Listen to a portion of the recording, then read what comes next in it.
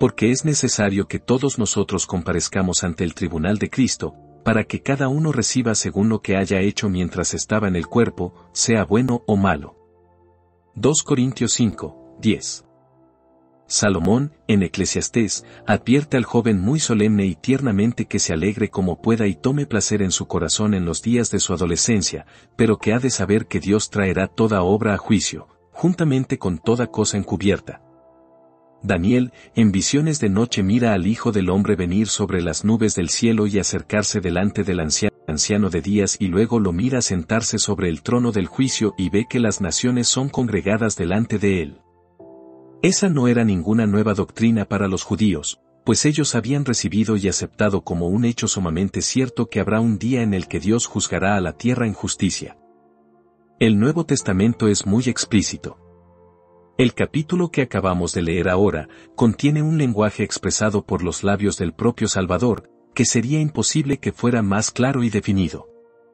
Él es un testigo fiel y no puede mentir. Se nos informa que delante de él serán reunidas todas las naciones, y que apartará los unos de los otros, como aparta el pastor las ovejas de los cabritos. Hay una abundancia de otros pasajes, que podríamos citar, en la segunda epístola a los tesalonicenses, por ejemplo dice, y a vosotros que sois atribulados, daros reposo con nosotros, cuando se manifieste el Señor Jesús desde el cielo con los ángeles de su poder, en llama de fuego, para dar retribución a los que no conocieron a Dios, ni obedecen al Evangelio de nuestro Señor Jesucristo, los cuales sufrirán pena de eterna perdición, excluidos de la presencia del Señor y de la gloria de su poder. Cuando venga en aquel día para ser glorificado en sus santos y ser admirado en todos los que creyeron, por cuanto nuestro testimonio ha sido creído entre vosotros, punto.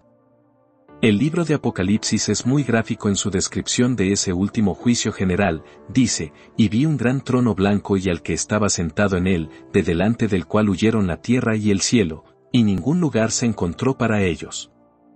Y vi a los muertos, grandes y pequeños, de pie ante Dios, y los libros fueron abiertos, y otro libro fue abierto, el cual es el libro de la vida, y fueron juzgados los muertos por las cosas que estaban escritas en los libros, según sus obras. No tendría el tiempo suficiente para citarles todas las escrituras. El Espíritu Santo asevera una y otra vez, y su palabra es verdad, que habrá un juicio de los vivos y de los muertos. Junto a ese testimonio directo, debe recordarse que hay un argumento poderoso de que así tiene que ser necesariamente, que parte del hecho de que Dios, como gobernante de todos los hombres, es justo. Todos los gobiernos humanos practican sesiones en sus tribunales. El gobierno no podría ser ejercido sin sus días de sesión y de juicio, de juicio, y, en la medida en que hay evidentemente pecado e iniquidad en este mundo, puede anticiparse razonablemente que habrá un momento en el que Dios recorra su circuito y cite a los prisioneros delante de él, cuando los culpables recibirán su condenación. Juzguen por ustedes mismos, ¿es este estado presente la conclusión de todas las cosas? Si así fuera, ¿qué evidencia aducirían acerca de la justicia divina, a la luz del hecho de que las mejores personas son a menudo las más pobres y las más afligidas de este mundo, mientras que los peores seres adquieren riquezas, practican la opresión y reciben el homenaje de la multitud? ¿Quiénes son aquellos que están subidos sobre las alturas de la tierra? no son los grandes transgresores que por sendas de víctimas cubiertas subieron a la cumbre soberana y de la tierna compasión las puertas cerraron a la miseria humana? ¿Dónde están los siervos de Dios? Con suma frecuencia están hundidos en el sufrimiento y en la oscuridad. No se sientan como joven medio de ceniza, sin que nadie se apiade de ellos, y son más bien objeto de muchos reproches? ¿Y dónde están los enemigos de Dios? ¿No visten muchos de ellos de púrpura y de lino fino, y hacen cada día banquete con esplendidez? Si no hubiese un más allá, entonces Epulón se lleva la mejor parte, y el hombre egoísta que no le teme a Dios es, después de todo, el más sabio de los hombres y ha de ser encomiado más que sus semejantes. Pero no puede ser así. Nuestro sentido común se revela ante ese pensamiento. Tiene que haber otro estado en el que sean rectificadas todas esas anomalías. Si en esta vida solamente esperamos en Cristo, somos los más dignos de conmiseración de todos los hombres, dice el apóstol. Los mejores hombres fueron conducidos a los peores infortunios en los tiempos de persecución, persecución, por ser siervos de Dios. ¿Cómo afirmas entonces, el fin corona la obra? Ese no podría ser el desenlace final de la vida, o, de lo contrario, la justicia misma se vería frustrada. Tiene que haber una restitución para aquellos que sufren injustamente y tiene que haber un castigo para el inicuo y el opresor. No solo puede afirmarse esto a partir de un sentido general de justicia, sino que en la conciencia de la mayoría de los hombres, si no es que en todos, hay un asentimiento para ese hecho. Como dice un viejo puritano, Dios sostiene una audiencia en un tribunal de jurisdicción limitada, es decir, en la conciencia de todo hombre, que es el anticipo del juicio que sostendrá tarde o temprano, pues casi todos los hombres se juzgan a sí mismos, y su conciencia les indica qué cosa está mal y qué cosa está bien. Digo, casi todos, porque pareciera que hay en esta generación una raza de hombres que han atrofiado de tal manera a su conciencia, que la chispa pareciera haberse apagado y entonces toman lo amargo por dulce y lo dulce por amargo. Parecieran aprobar la mentira pero no reconocen a la verdad. Pero si dejan en paz a la conciencia y no la atrofian, verán que da testimonio de que hay un juez de toda la tierra que ha de hacer lo que es justo. Ahora, ese es peculiarmente el caso cuando se le da rienda suelta a la conciencia. Los hombres que están ocupados con su trabajo o que están entretenidos con sus placeres, mantienen a menudo tranquilas a sus conciencias. Tal como lo expresa John Bunyan, encierran a la señora conciencia, ciegan sus ventanas, ponen barricadas contra sus puertas, y en cuanto a la gran campana ubicada sobre el techo de la casa que la vieja dama estaba habituada a repicar, le cortan la cuerda al badajo para que ella ya no pueda alcanzarlo, pues no desean que perturbe a la ciudad de alma humana pero cuando llega la muerte, sucede con frecuencia que la señora conciencia escapa de su prisión y, entonces les garantizo que hará un barullo tal que no habrá ni una sola cabeza que duerma en toda, alma humana. Conciencia dará voces y se vengará por su obligado silencio, y hará saber al hombre que hay algo en su interior que no está muerto, que grita todavía pidiendo justicia, y que el pecado no puede quedar sin castigo. Entonces, tiene que haber un juicio. La escritura lo asevera, y eso nos basta, pero por vía de evidencia colateral, el orden natural de las cosas así lo requiere y la conciencia lo atestigua.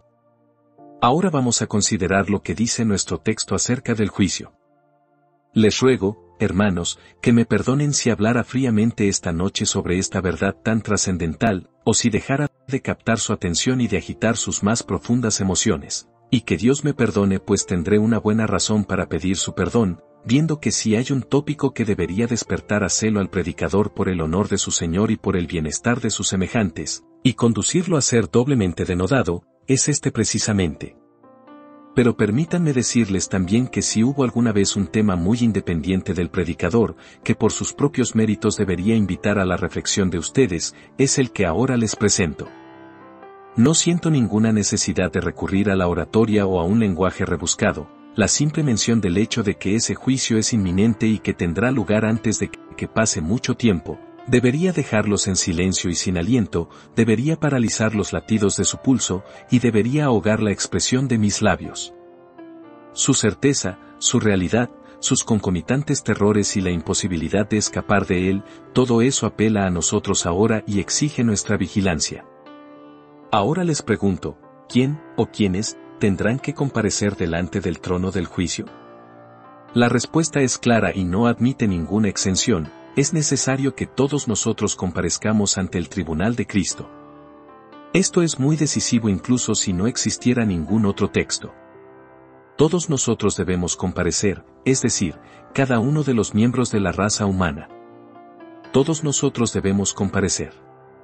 Y es muy claro que los piadosos no estarán exentos de esta comparecencia, pues el apóstol les está hablando aquí a los cristianos. Pablo dice, por la fe andamos, no por vista. Nosotros confiamos. Procuramos, y así sucesivamente, y luego se expresa así, es necesario que todos nosotros comparezcamos. De tal manera que, además de todos los demás, es un hecho que todos los cristianos deben comparecer allí. El texto es sumamente concluyente sobre ese punto.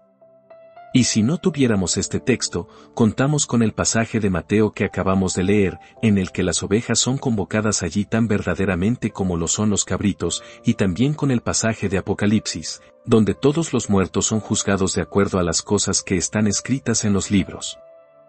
todos ellos están allí. Y si alguien presentase esta objeción, nosotros creíamos que debido a que los pecados de los justos fueron perdonados, y fueron borrados para siempre, no tendrían que presentarse a juicio nunca, solo tenemos que recordarles, amados, que si son perdonados y borrados, como indudablemente lo son, los justos no tienen ningún motivo para temerle al juicio. Son las personas que ansían el juicio y que podrán comparecer para recibir una pública absolución de boca del grandioso juez.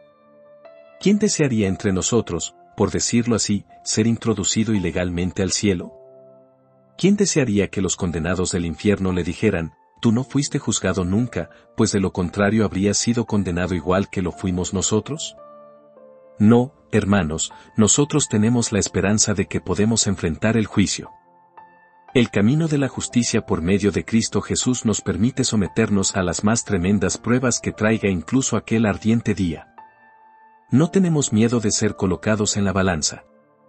Incluso deseamos aquel día cuando nuestra fe en Jesucristo será fuerte y firme, pues decimos, ¿quién es el que condenará? Podemos desafiar al día del juicio. ¿Quién es el que nos acusará de algo en aquel día, o en cualquier otro día, día, puesto que Cristo murió y ha resucitado? Es necesario que los justos estén allí para que no haya ninguna parcialidad de ningún tipo en esa materia, para que todo sea claro y recto, y para que se vea que las recompensas de los justos, aunque son por gracia, se otorgan sin ninguna violación de la más rigurosa justicia. Amados hermanos, qué gran día será para los justos. Pues algunos de ellos fueron objeto, tal vez algunos de los presentes lo sean, de alguna muy terrible acusación de la cual son perfectamente inocentes. Todo será aclarado entonces, y esa será una gran bendición de aquel día. Habrá una resurrección de reputaciones así como de cuerpos. Los hombres llaman necios a los justos, entonces resplandecerán como el sol en el reino de su Padre. Les dieron casa hasta matarlos, como si no fueran aptos para vivir. En los primeros tiempos arrojaban contra los cristianos acusaciones de un carácter tan terrible que yo consideraría una vergüenza mencionar. Pero entonces todos ellos serán exonerados, y aquellos de quienes el mundo no era digno, que fueron acorralados y perseguidos por todas partes y obligados a morar en las cavernas de la tierra, saldrán como seres dignos y el mundo reconocerá a su verdadera aristocracia y la tierra reconocerá a su verdadera nobleza. Los hombres cuyos nombres el mundo desechó como inicuos, serán tenidos entonces en gran estima, pues quedarán limpios y transparentes, sin mancha ni arruga. Es bueno que haya un juicio para los justos, para su exoneración, para su vindicación, vindicación, y que sea público, desafiando las hostilidades y las críticas de toda la humanidad. Es necesario que todos nosotros comparezcamos. Cuán vasta asamblea será, cuán prodigiosa reunión de la raza humana entera. Cuando meditaba sobre este tema se me ocurrió preguntarme, ¿Cuáles habrán de ser los pensamientos de nuestro padre Adán, al comparecer allí con nuestra madre Eva y mirar a su progenie? Será la primera vez que tenga la oportunidad de ver reunidos a todos sus hijos. ¿Qué espectáculo contemplará entonces, el cual cubrirá vastas extensiones, todo el globo que habitan, suficiente no solo para poblar las llanuras de toda la tierra, sino para coronar las cimas de sus montes y cubrir incluso las olas del mar, tan incontable habrá de ser la raza humana, cuando todas las generaciones que han vivido jamás, o que vivirán jamás, resuciten a la vez. Oh, qué espectáculo será. ¿No es demasiado maravilloso para que lo esboce nuestra imaginación? Sin embargo, es muy cierto que la asamblea será convocada y que el espectáculo será contemplado. Cada uno de los seres antediluvianos, cada uno de los seres de los días de los patriarcas, de los tiempos de David, del reino de Babilonia, todas las legiones de Asiria, todas las huestes de Persia, todas las falanges de Grecia, todos los vastos ejércitos y las legiones de Roma, los bárbaros, los escitas, los esclavos, los libres, hombres de todo color y de toda lengua, estarán presentes en aquel gran día delante del tribunal de Cristo. Allá vienen los reyes que no son más grandes que los hombres a quienes llaman sus vasallos. Allá vienen los príncipes, que se han quitado sus diademas, pues deben comparecer como seres humanos comunes. Acá vienen los jueces para ser ellos mismos juzgados, y también los abogados y los legistas, que ahora necesitan un defensor para su propio caso. Aquí vienen aquellos que se consideraban demasiado buenos y que acaparaban toda la calle para sí. Allí están los fariseos, recibiendo los empellones de los publicanos a sus costados y reducidos al mismo nivel natural que ellos. Observen a los campesinos que se levantan del suelo, vean a las pululantes miríadas que vienen para comparecer desde las afueras de las grandes ciudades, incontables huestes que ni Alejandro ni Napoleón contemplaron jamás. Vean cómo el siervo es tan grande como su Señor. Ahora se proclama, libertad, igualdad, fraternidad. Ni los reyes, ni los príncipes ni los nobles pueden refugiarse detrás de su orden, ni afirmar algún privilegio o reclamar alguna inmunidad. Iguales sobre un nivel común, comparecen todos juntos para ser juzgados por el último y terrible tribunal. Vendrán los malvados de todo tipo.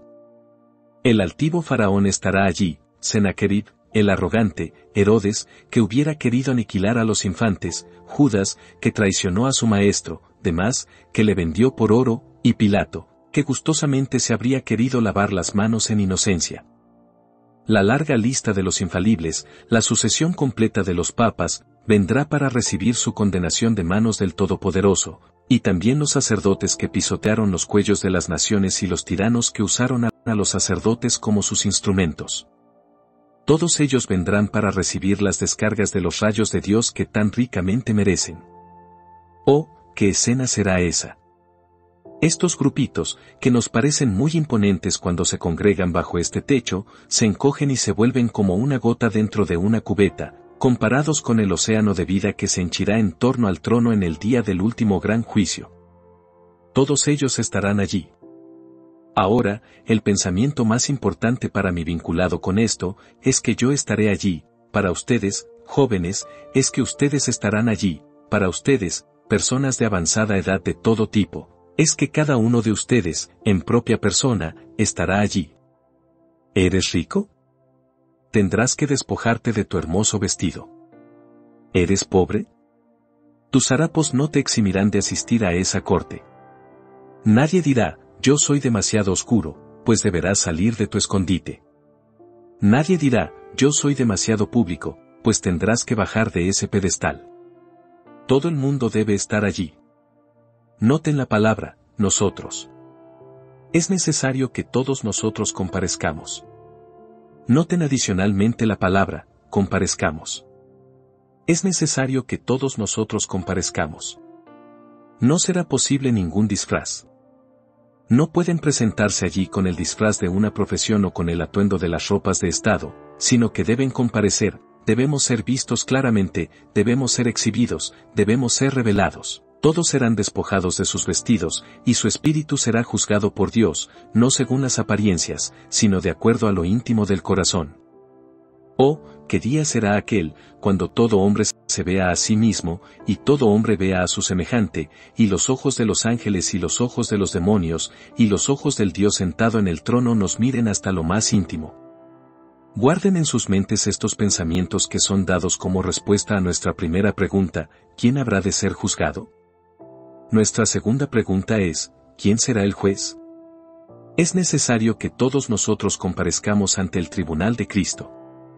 Es sumamente apropiado y conveniente que Cristo sea nombrado el juez de toda la humanidad. Nuestra ley británica establece que un hombre sea juzgado por sus pares, y hay justicia en ese estatuto. Ahora, el Señor Dios juzgará a los hombres, pero al mismo tiempo será en la persona de Jesucristo hombre los hombres serán juzgados por un hombre. Aquel que una vez fue juzgado por los hombres, juzgará a los hombres. Jesús conoce lo que es el hombre, él mismo ha estado en profunda humildad bajo la ley, y es ordenado para administrar la ley con excelsa autoridad. autoridad. Él puede sostener equilibradamente los platillos de la balanza de la justicia, pues ha ocupado el lugar del hombre y ha soportado y arrostrado las tentaciones del hombre, por tanto, es el juez más idóneo que pudiese ser seleccionado. Algunas veces he oído y he leído sermones en los que el predicador mencionaba que un cristiano debería alegrarse de que su juez sea su amigo. Tal vez no haya ninguna intención indebida, pero aún así me parece que es una sugerencia más bien cuestionable.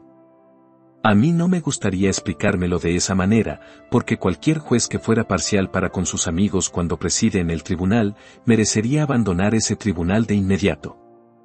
Yo no espero ningún favoritismo de Cristo como juez. Espero que, cuando presida en el tribunal, imparta una justicia imparcial para todos. No puedo ver cómo pudiera ser correcto que algún ministro sostenga que deberíamos encontrar aliento en el hecho de que el juez sea nuestro amigo. Amigo o no amigo, cada uno de nosotros comparecerá para recibir un juicio justo, y Cristo no hará acepción de personas. No se dirá de aquel a quien Dios ha designado para juzgar al mundo, cuando la sesión del juicio concluya, que hizo caso omiso de los crímenes de algunos o que los atenuó, mientras que investigó e investigó a fondo las fallas de otros y las condenó. Será justo y recto en todo momento. Él es nuestro amigo, les concedo eso, y será nuestro amigo y salvador eternamente, pero debemos asirnos al pensamiento y debemos creerlo y sostenerlo, que como juez será imparcial para con todos los hijos de los hombres. Amigo, tú tendrás un juicio justo.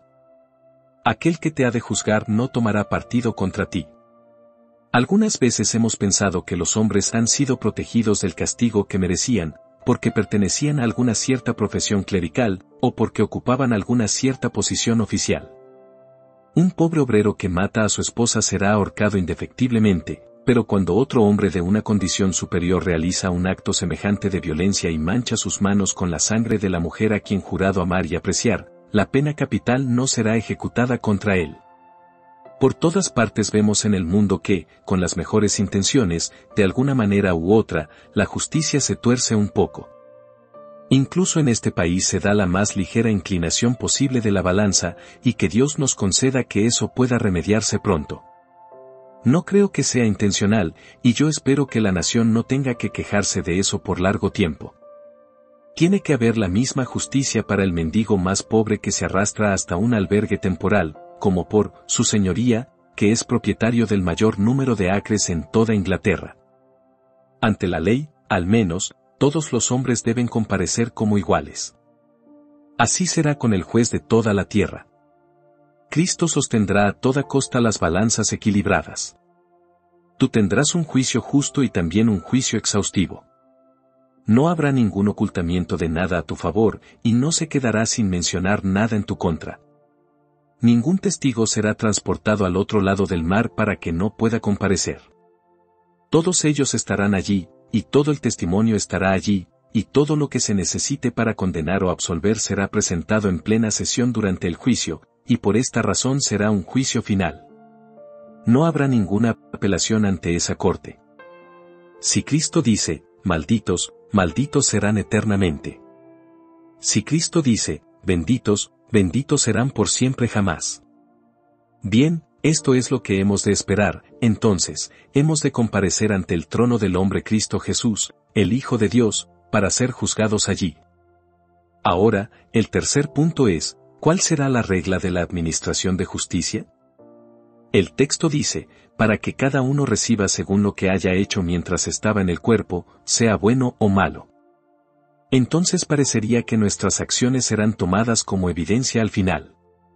Nuestras acciones serán tomadas como evidencia al final, y no nuestra profesión ni nuestras jactancias, y todo hombre recibirá de acuerdo a lo que ha hecho en el cuerpo.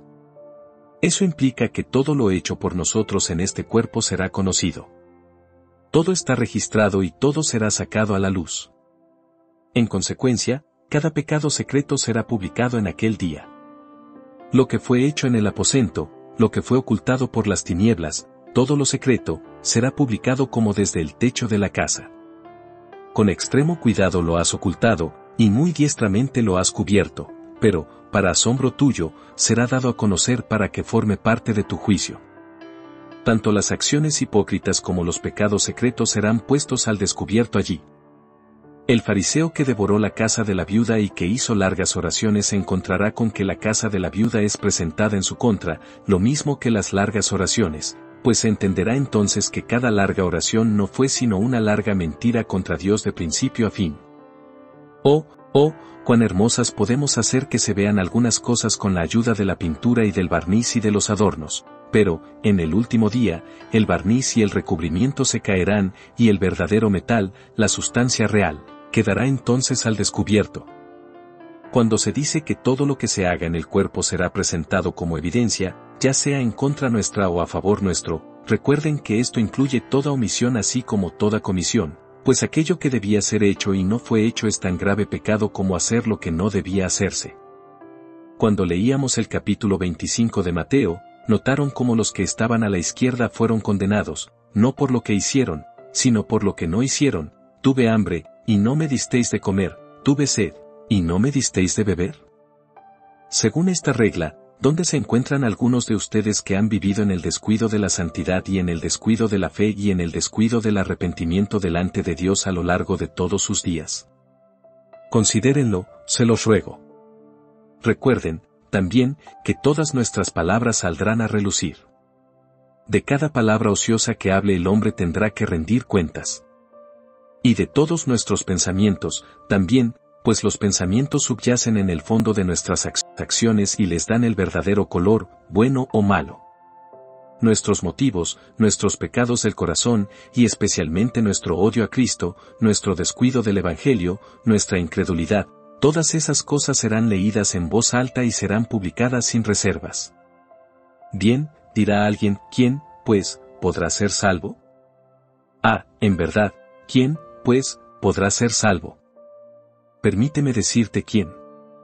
Pasarán al frente aquellos que creyeron en Jesús, y aunque tienen muchos pecados ante los cuales confesarse culpables, serán capaces de decir, grandioso Dios, tú proveíste un sustituto para nosotros. Y tú dijiste que si lo aceptábamos sería nuestro sustituto y tomaría sobre sí nuestros pecados, y nosotros en verdad lo aceptamos y nuestros pecados fueron puestos sobre él y ahora no tenemos ningún pecado. Fueron transferidos de nosotros hacia el grandioso Salvador, sustituto y sacrificio. Y en aquel día no habrá nadie que pudiera poner algún reparo contra ese argumento, será válido, pues Dios ha dicho, todo aquel que crea en Cristo Jesús no será condenado nunca, entonces serán presentadas las acciones de los justos, las acciones de gracia, para demostrar que tuvieron fe. Pues la fe que no se manifiesta nunca mediante buenas obras es una fe muerta y es una fe que nunca salvará a ningún alma. Ahora, si el ladrón moribundo fuera presentado, diría, mis pecados fueron puestos sobre Jesús. Sí, pero, ¿qué hay de tus buenas obras? Tú tienes que tener alguna evidencia de tu fe, podría replicar Satanás. Entonces el ángel registrador diría, diría, el ladrón moribundo le dijo a su compañero ladrón que estaba muriendo con él, ¿por qué razón maldices? En sus últimos momentos hizo lo que pudo, censuró al ladrón que moría con él e hizo una buena confesión de su Señor. Allí tenemos la evidencia de la sinceridad de su fe. Amado oyente, ¿habrá alguna evidencia de la sinceridad de tu fe? Si tu fe no tuviera ninguna evidencia delante del Señor, ¿qué harás?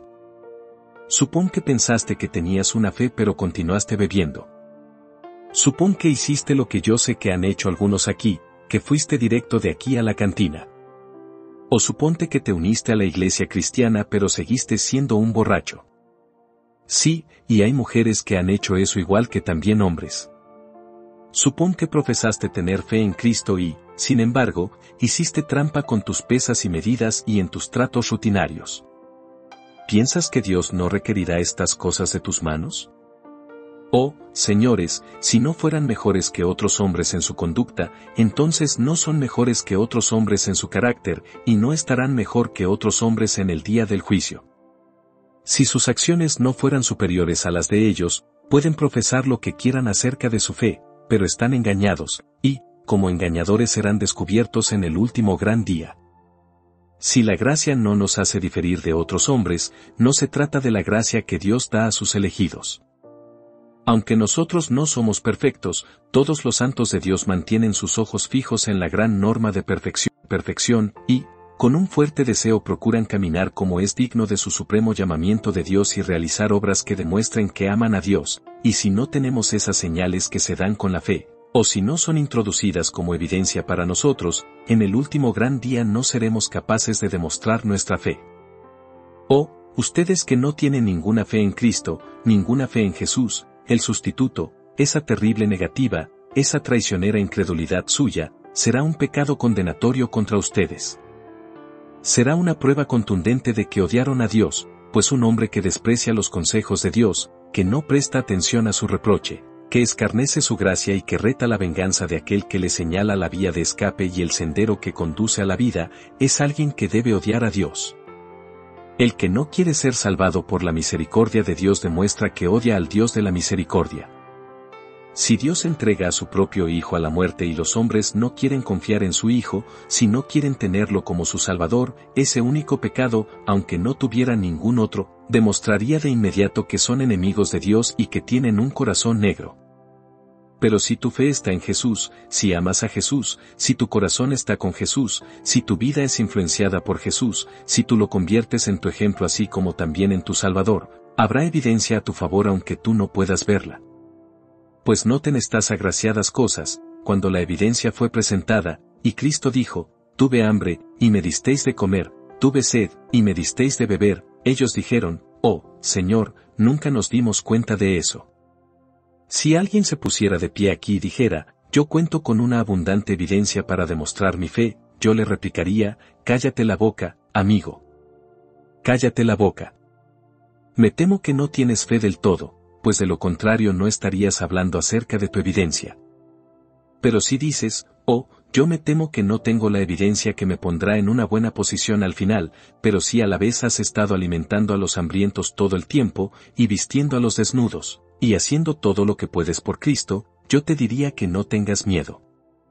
El Maestro encontrará testigos que digan, ese hombre me socorrió cuando yo estaba sumido en la pobreza. Él sabía que yo era uno de los de Cristo y vino y me ayudó. Y otro vendrá y dirá, tal vez sea un ángel quien lo diga, lo vi cuando estaba solo en su aposento y lo oí orar por sus enemigos. Y el Señor dirá, leí en su corazón cuando contemplé cómo aguantó el reproche, y la calumnia, y la persecución, y se quedaba sin responder por mi causa. Él hizo todo eso como evidencia de que mi gracia estaba en su corazón. Tú no tendrás que poner los testigos, el juez los llamará, pues él sabe todo acerca de tu caso, y conforme llame a los testigos, tú te sorprenderás al descubrir cómo incluso los impíos se verán obligados a consentir en la justa salvación de los justos. O, los actos secretos y la verdadera sinceridad del corazón de los justos, cuando sean manifestados así, como provocarán que los diablos se muerdan su lengua llenos de ira al pensar que hubo tanta gracia dada a los hijos de los hombres para derrotar a la persecución, vencer a la tentación y seguir en obediencia al Señor.